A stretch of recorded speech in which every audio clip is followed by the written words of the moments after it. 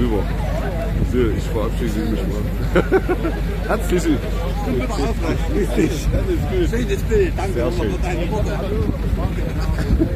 Einen wunderschönen guten Abend. Schön, dass ihr alle wieder hier seid. Es ist Montag. Es ist 18 Uhr. Für den Frieden, für die Freiheit, für die Wahrheit und die Selbstbestimmung. Wir gemeinsam heute wieder hier in Chemnitz. Mehrere hunderte oder tausende Menschen sind heute wieder auch in anderen Städten unterwegs.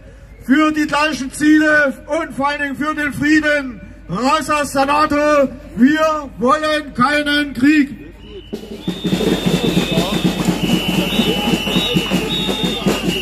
Wenn man dann wieder die Schlagzeilen so liest, dass es jetzt wieder eine Truppenübung geben wird im Juni in Sachsen.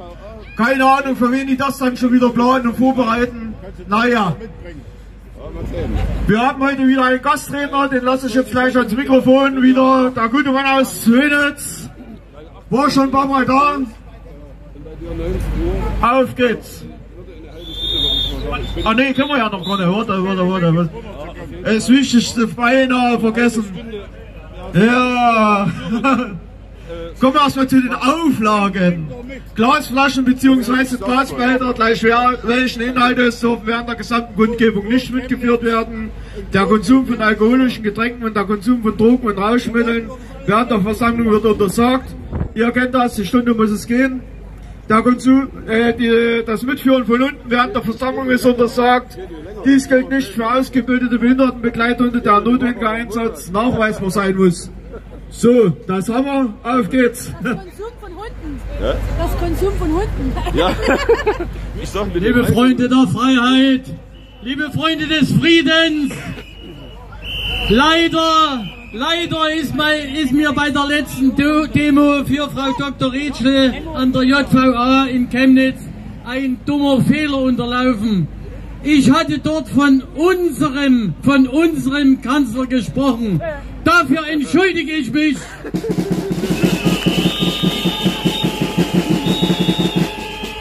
Es ist nicht unser Kanzler. Es ist der Kanzler einer grün-rot-gelben sozialistischen Minderheitskaste, die jeglichen Bezug zur Realität und den Bürgern verloren hat.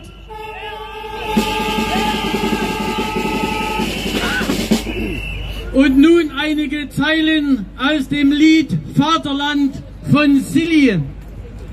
Mein Vaterland ist fit und fleißig und macht was her und seine Wertarbeit ist bis heute legendär. Mein Vaterland macht mit Maschinen viel gutes Geld. Maschinen für das Täten, für fast jeden Krieg der Welt. Der Tod besteht auf Qualität und sie verkauft sich gut. Das Geld verwandelt sich am Horizont in fremdes Blut. So weit, so gut. Die EU schickt nun eine Million Granaten in die Ukraine. Neuerdings kommt auch eine Mun Munition mit Urankern zum Einsatz. Geht's noch?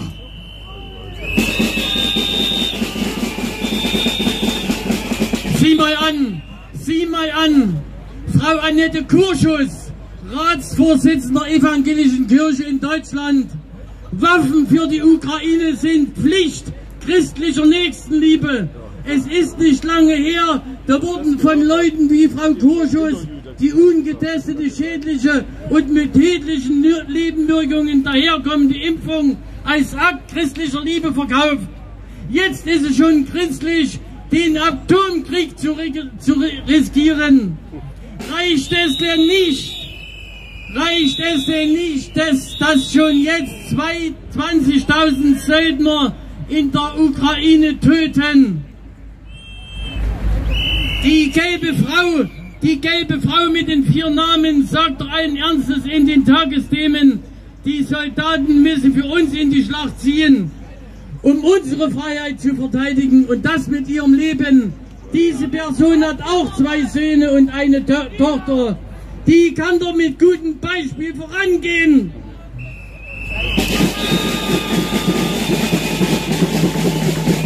Übrigens, übrigens ist sie auch Mitglied im Förderkreis Deutsches Heer, ein 1995 gegründeter Verein und Lobbyverband der deutschen Rüstungsindustrie. Wessen Interessen wird diese Frau wohl vertreten? Die ausgemusterten und Wehrdienstverweigerer der Regierung können sich da an die Front begeben.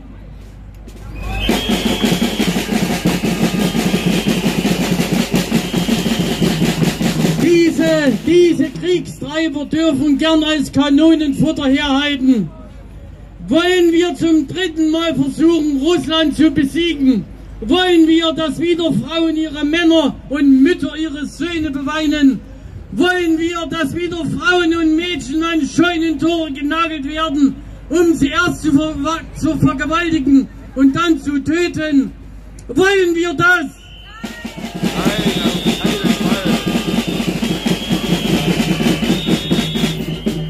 Aber zum Glück aber zum Glück haben wir jetzt Panzer mit spezial gefederten Sitzen im aufmunternden Regenbogendesign für männliche Schwangere ohne Tampons.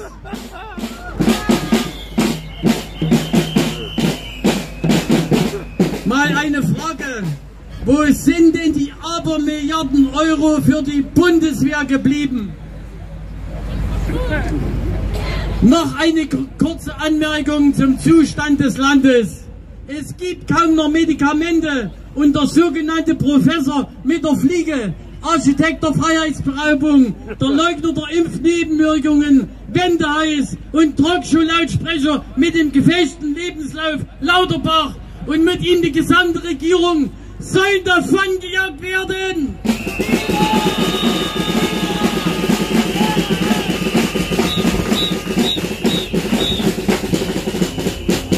Wir brauchen in der Regierung Spezialisten und Fachleute und keine Studienabbrecher, die noch nie in ihrem Leben etwas zum Sozialprodukt beigetragen haben. In der freien Wirtschaft wären viele von denen Sozialhilfeempfänger, weil sie rein gar nichts gelernt haben.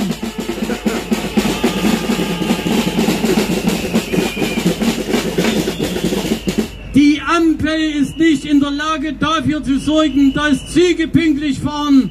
Unsere Straßen und Brücken sind kaputt, Kindergärten und Schulen sowie andere öffentliche Einrichtungen verfallen.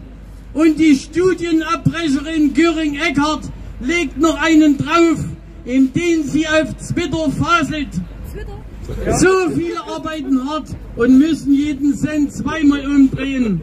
Die Härte der Krise treffen nicht alle gleich. Deshalb, wer hat, soll was geben. Reichtum verpflichtet. Gerade jetzt. Wir brauchen Umverteilung von unten nach oben. Da soll sie mal lieber bei sich anfangen.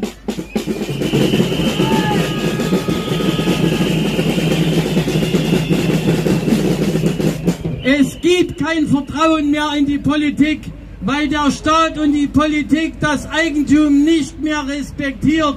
Enteignungen werden erwartet, Zwangsbeleihungen werden kommen und Immobilienbesitz wird entwertet.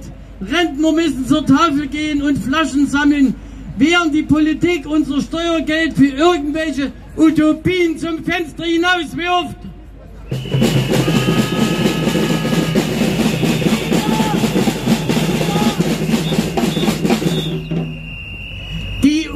Unkontrollierte Zuwanderung, die unkontrollierte Zuwanderung von Menschen in unser Sozialsystem muss sofort beendet werden. Es ist kein Platz mehr am deutschen Tischlein, deck dich!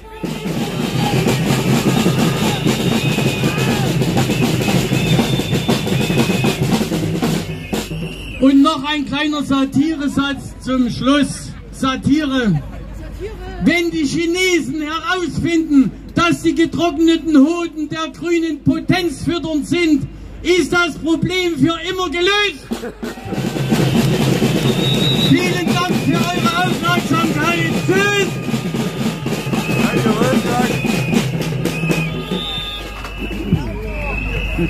Viel schlimmer ist jetzt, was in Rumänien stattfindet, das, das Manöver. Oh. Ganz schlimm. Ja, weil die stellen die es werden noch äh, Freiwillige gesucht, die den Banner bitte mittragen. Das wäre super. Ja, richtig. Die, die Bullen bringen es ja schon im Fernsehen. Ja, und, und Fahnen haben wir noch übrig. Greift zu den Fahnen, davon haben wir genug. Wäre schön, wenn sich der eine oder andere so eine schöne Fahne von uns schnappt. Und noch eine kurze Werbung von Hallo Chemnitz.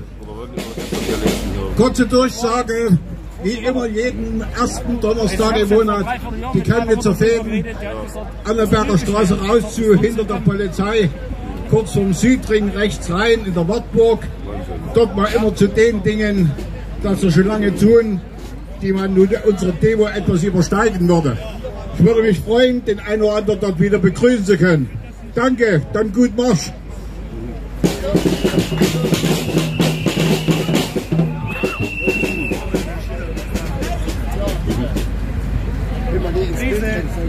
Können jetzt eigentlich So,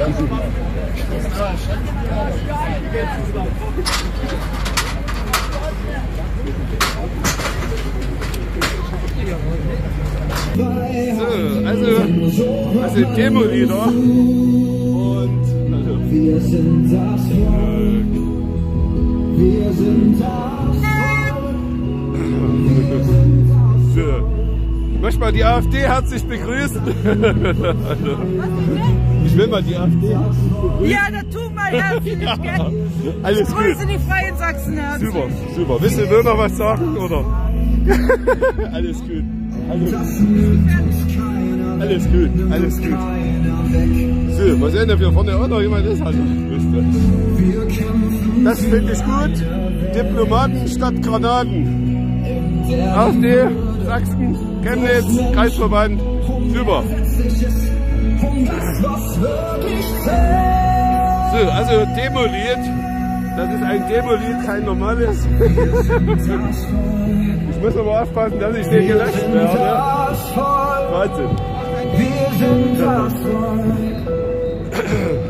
Und das nimmt uns keiner weg. Wir sind das Volk. Wir sind das Volk, also Demolied. Demolied. Wir sind das Volk. Und das nimmt uns keiner weg. Ich grüße die Basis ganz herzlich. Du darfst das. Aber bei schönem Wetter kann jeder spazieren gehen. Ja. Bis dann. Ja. Macht weiter so.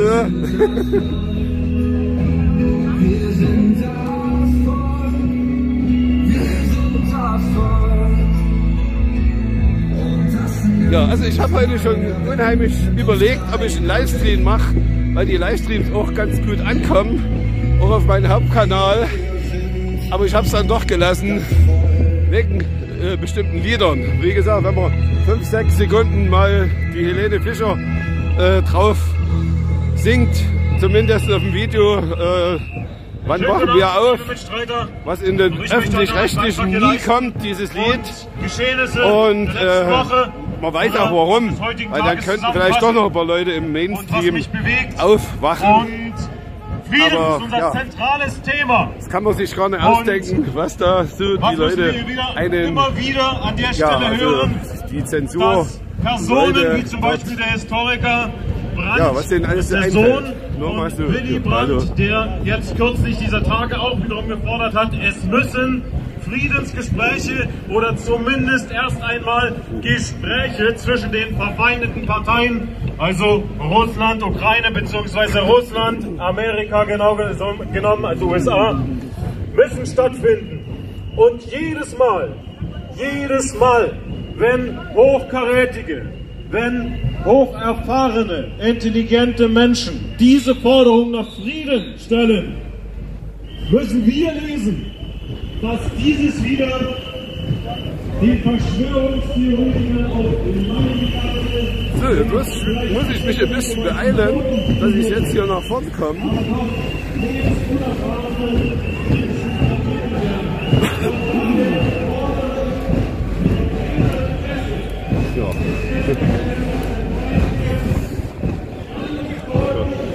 So, hier ist auch die AfD unterwegs. Super, ich grüße euch. Danke für euren Einsatz. Super. Also. Ja. Und hier kommt auch ein bisschen Farbe mit ins Spiel. Freien Sachsen, identitäre Bewegung und was wir alles noch so haben. Und ich denke mal, das ist eine super Sache. Also,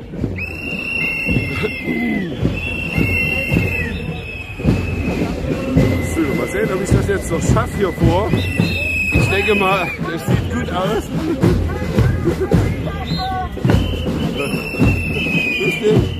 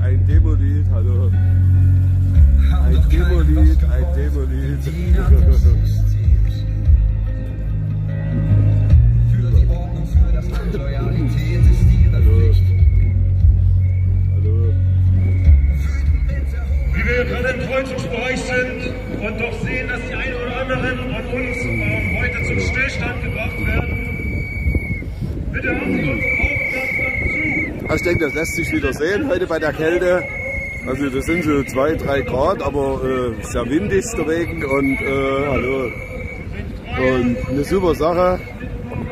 Ja, also Montag, nächste Woche, hallo. Nächste Woche Montag, hallo.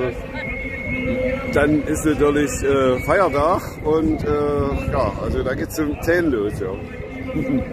Die Ampel muss weg, genau. Oder stoppt die Ampel, die Ampel muss weg. Ja, kann man nehmen, wie man will. Alles beides richtig. Knochert. Richtig.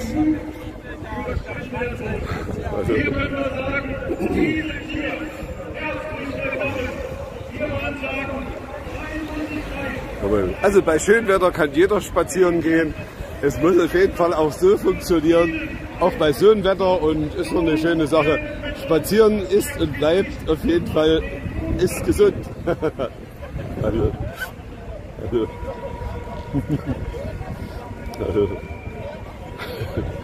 Super. Ja, hallo.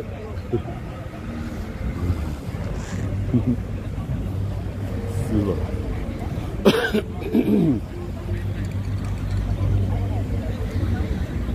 Ja, also den Vorteil haben wir natürlich, dass jetzt hier so ein bisschen heller ist. Auch eine super Sache. Und äh, ja, vielen, vielen Dank an alle Leute, die hier gekommen sind, Gesicht zeigen. Und das ist ja wichtig. Das ist wichtig. Und jetzt werde ich mich mit anschließen und dann werden wir noch ein bisschen reden mit ein paar Leuten und dann denke ich mal, ja, mal sehen, ob ich, wenn ich dann vorne, wo die Theaterstraße losgeht, ob ich das geschafft habe, dann wieder vorzukommen. Aber wie gesagt, äh, wir werden es sehen. Menschen hier draußen stehen. Ich denke, Ursula von der Leyen ist Super.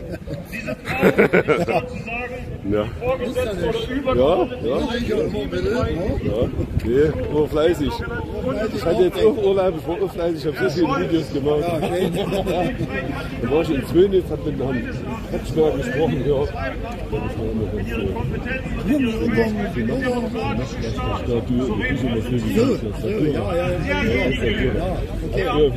meine Kanäle so gemacht. Der Rolf, da sagt er hat fast angeguckt, ja. Also, weil, das wolltest du die ganze Zeit machen. Ja, jeder wie er kann, das ist ganz wichtig. darüber zu sprechen, die da sein. Dafür sind wir da. Sie zeigen unser Gesicht, wir haben den Mut und nicht nur in so einer Masse. Wir sind jederzeit zu diesen Themen auf der Straße im Privaten ansprechbar. Habt Mut, euch zu diesen Themen mit uns zu konfrontieren oder allgemein dem, was man Wahrheit, Realität nennt. Zurück zur Frau von der Leyen. Was ist hier im Gange? Nun ist sie mittlerweile schon im Gespräch, dass sie als neue NATO-Generalsekretärin gehandelt wird. Wenn das der Fall ist, dann setzt sich das Handeln, was sich von Deutschland, also von der Regierung der Bundesrepublik Deutschland ausgestrahlt und fortgesetzt hat, auf Auch sagt die Schnauze voll mit Bevormundung, jawohl. Sehr schön, deutlich ausgesprochen, klar. Das bedeutet. Manifestierung des Kriegswillens und Nachgiebigkeit Sie dürfen da sein, oder was? Das ist aber oder? Handlungen und weitere Frieden nicht in einer Friedenspartei beteiligt werden. Nie wieder. Genau so ist es. Das hat auch mit, das hat mit Geschichte zu tun. Aber die, die hier, die mächtige Regierung, die haben wahrscheinlich den Bezug zur Geschichte verloren. Aber ich möchte da gar nicht so tief Meine reingehen. hat schon mal mit dir gesprochen. Ja? Hatte sie mal interviewt, ja. Ist schon eine Weile her. Super, super, super. Hat dich gefreut. Ja, ja, super. Also, dieser Form zu sitzen, wie wir hier unterwegs sind. Und der Wind macht es natürlich noch. Aber da fehlen natürlich die Fahnen sehr schön. Und von Frieden, von Frieden ist das doch eine super Sache, wenn die Fahnen richtig fehlen. Ja, das sieht man auf jeden Fall mehr. Also wenn es nützt, ist es doch gut. super. Wir haben einen, aber es geht auch um so etwas wie Freundschaft und es geht auch darum, einzustehen. Einzustehen und sich einzugestehen, dass wir tatsächlich in einem harten Kampf sind. Daran wollen wir aber nicht verzweifeln. Wir stellen uns dieser Tatsache, wir schauen immer wieder nach rechts und links, wer steht neben uns. Wem kann ich offenbar mehr vertrauen als sehr vielen Leuten, die mir sonst auf der Straße begegnen. Lacht euch einfach einmal einander zu.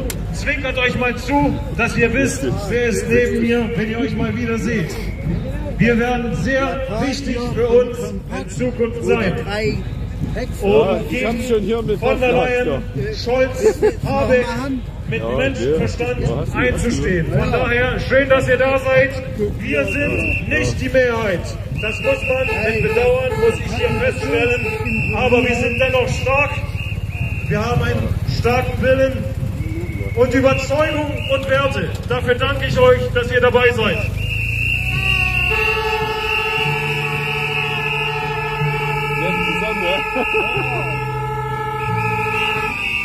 Super, danke.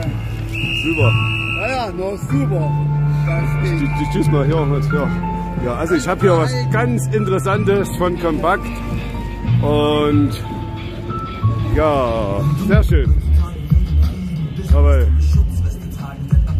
das ist alles in Scherbenfeld. Traurige Sache, aber Dankeschön. Politik ohne Verstand fährt die Karre an die Wand. Jawohl, auch eine schöne Sache. super, super. Ja. Über uns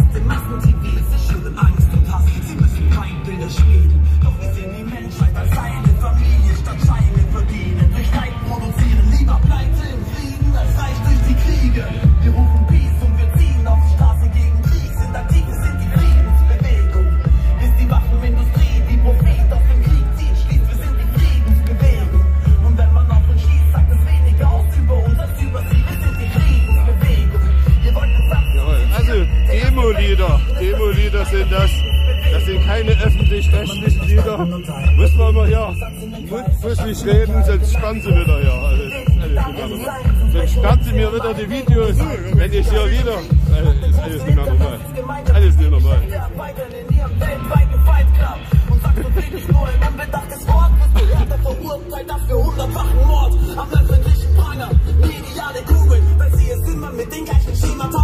Darum gibt's wenig Künstler, die dafür stehen, was zu tun. Starke Messages nicht für CD-Verkäufe gut sind. Ist mir egal, ich gehe freiwillig vor, denn ich hab Rückgrat. Vielleicht kommt es euch leichtsinnig vor, doch ich bleib Killesmord. Stoppt die Regierung, genau, diese möchte gerne Regierung. Sehr schön.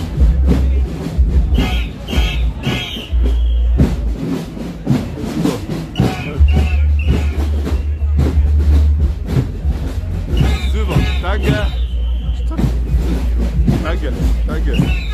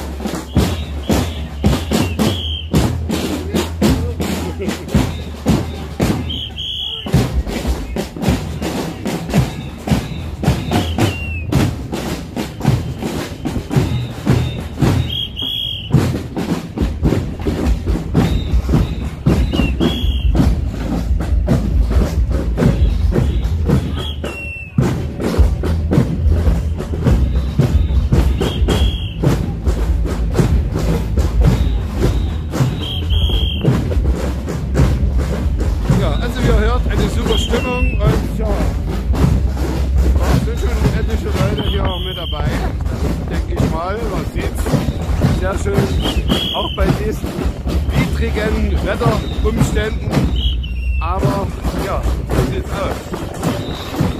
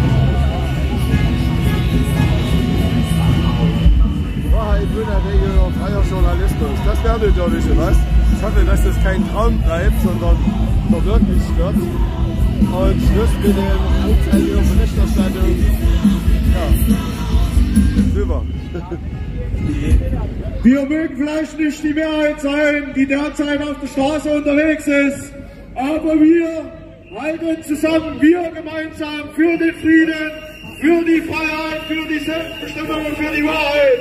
Wir gemeinsam für diese Zukunft, für eine Zukunft, die es sich lohnt zu leben, für unsere Kinder, für die Alten, die in Armut leben müssen. Damit muss Schluss sein. Unsere Steuergelder in unser Land, damit wir wieder leben können, damit wir eine Zukunft haben und keiner mehr Flaschen sammeln gehen muss, weil Milliarden und wieder Milliarden in irgendwelche Kriege investiert werden, die nicht von unserem Boden ausgehen. Denn kein Krieg geht mehr von Deutschland aus und wir werden uns auch nicht beteiligen. Ja, super. Genau, also Sonate, genau. Für Frieden. Also, ich kenne immer noch niemanden, der für Krieg ist. Also alle Leute, die ich kenne, die sind für Frieden und das ist eine gute Sache. Wunderbar.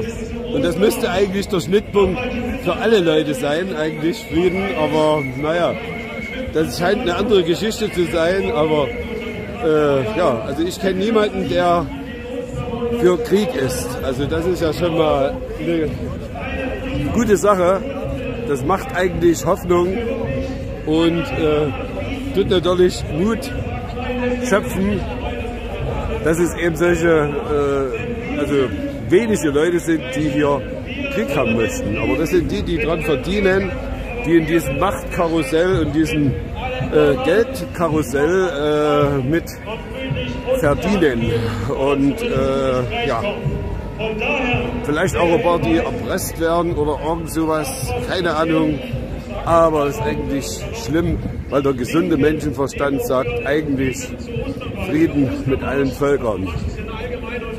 Weil ich gehe mal davon aus, wenn nicht gerade Macht, Geld oder andere Interessen dahinter sind, kämen die Leute gar nicht auf die Idee, irgendwelche andere Leute ja, mit Kriege überziehen.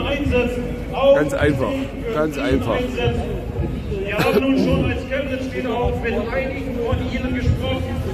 Sie zeigen sich offen, sind auch freundlich. Super, danke für euren Einsatz. Klasse, klasse. Super.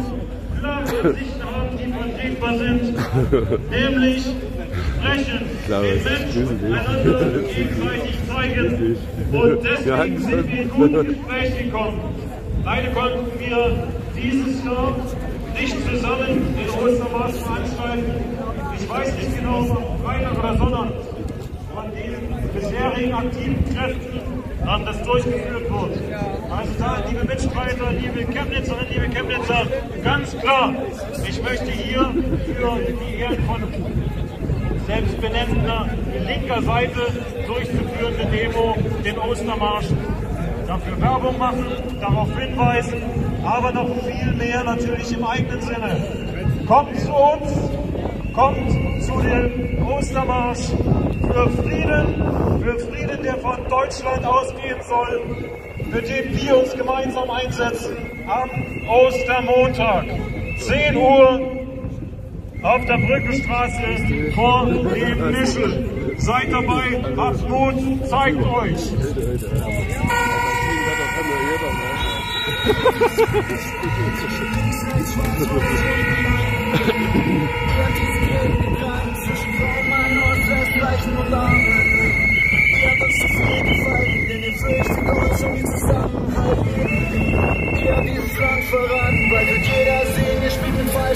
Also das ist ein Demo-Lied, das ist kein normales Lied, das ist ein Demo-Lied. Nur mal so am Rande. GEMA ist bezahlt. Und für solche Lieder glaube ich ja kein Problem normalerweise. Normalerweise.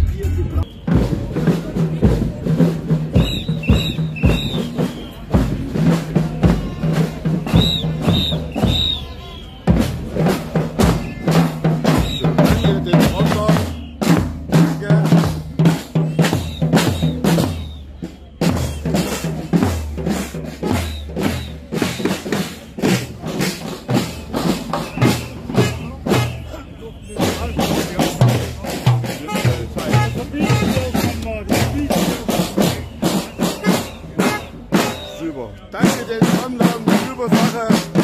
Klasse.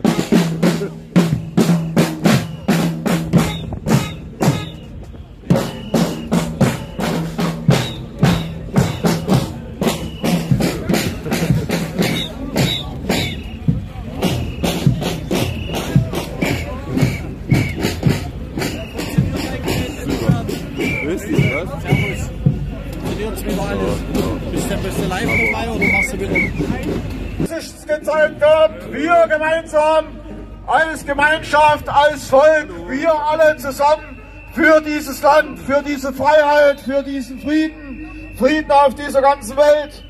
Wir zeigen jeden Montag Gesicht und nächsten Montag, denkt dran, 10 Uhr, wer es noch nicht gehört hat, eine große Friedensdemonstration. Ich hoffe, es wird keine Gegenproteste geben, denn wer gegen Frieden demonstriert, ist für Krieg. Und solche Leute sollten dann auch an die Front gehen, da wo sie dann hingehören, denn wer für Krieg ist, gehört an die Front.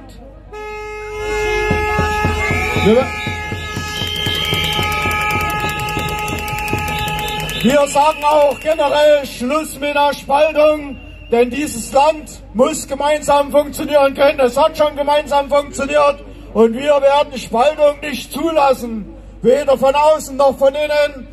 Wir sind gemeinsam auf der Straße als Volk und deshalb suchen wir immer wieder auch Gespräche am runden Tisch etc. mit Parteien, mit allen anderen äh, Oppositionen etc. Alle, die halt bereit sind, das Ganze mitzutragen oder Gesicht zeigen wollen, damit wir alle gemeinsam dieses Land stärken, dieses Land äh, gemeinsam nach vorne bringen und wieder eine Zukunft haben, für die es sich lohnt. Indem man eben keinen Krieg führt, indem man Gespräche führt, Lösungen sucht, ohne Krieg, ohne Waffen, kein Aufbau von irgendwelchen Pulverfabriken in Sachsen oder irgendeine Panzerfabrik in der Ukraine. Das sind Vorbereitungen für größere Kriege und damit haben wir ein Problem, das wollen wir nicht.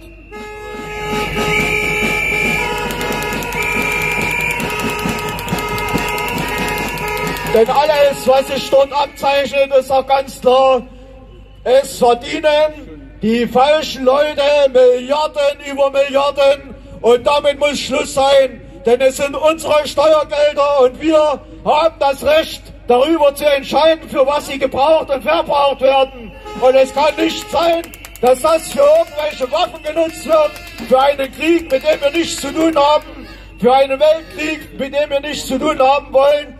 Frieden ist eine Lösung, Krieg ist keine.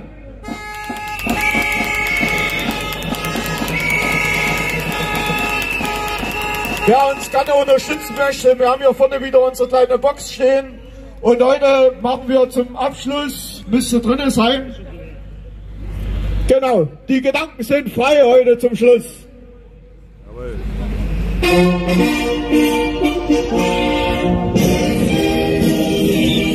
Danke.